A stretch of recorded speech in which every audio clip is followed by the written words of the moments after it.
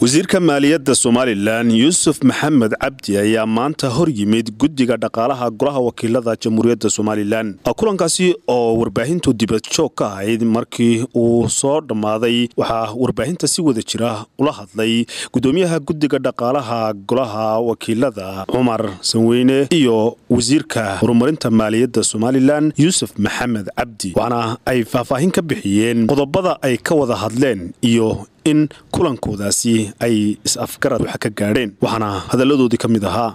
Guddiga dhaqaalaha golaha wakiiladu waxaanu u yeedhnay wasiirka maaliyadda iyo tiimkiisa la shaqeeya.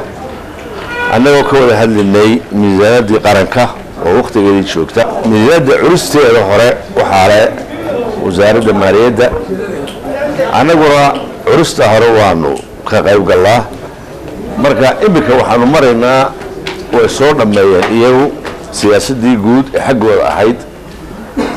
Waxaa noo haday inaanu annaguna aanu ka qaybgalno aanu ka qayb gallay siyaasaddii guud ee misaada lagu samaynayey insha allahu sanadku intaanu dhammaana waxaanu filaynaa miisaanadii oo dhammaystiran inaanu soo saaro oo wasaaradda maaliyadda iyo baarlamankuna saxeexo inay soo baxdo ummaddu aanay ka habsaadan baanu filaynaa sanadka kan.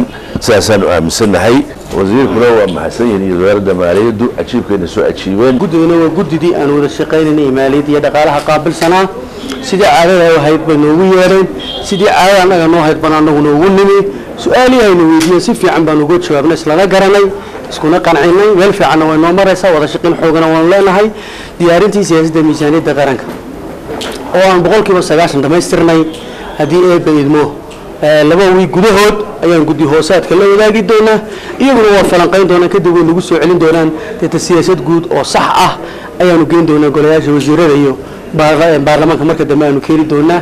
Waxaan rajaynaynaa miisaaniyadda qaranka diyaarinteeda labada kun iyo sagaaliyo tobanka haddii eebba idmo xilligii sharcigu tilmaamayey inaanu la ansixiyo oo golayaasha wasiirada iyo golayaasha baarlamaankaba ay marto oo aanu rajaynayno bisha disembar intaanay dhammaan inaan hawshaa dhammayn doono. Baaqaya ganacsida kala duwan xilligan la joogo inay cashuuraha ku waajibay iyo takaaliifta iyo ajuurooyinka ku waajibay iska soo bixiyaan. Haddii aan la helin lacag way adkaanaysa qaranku inuu horumaro.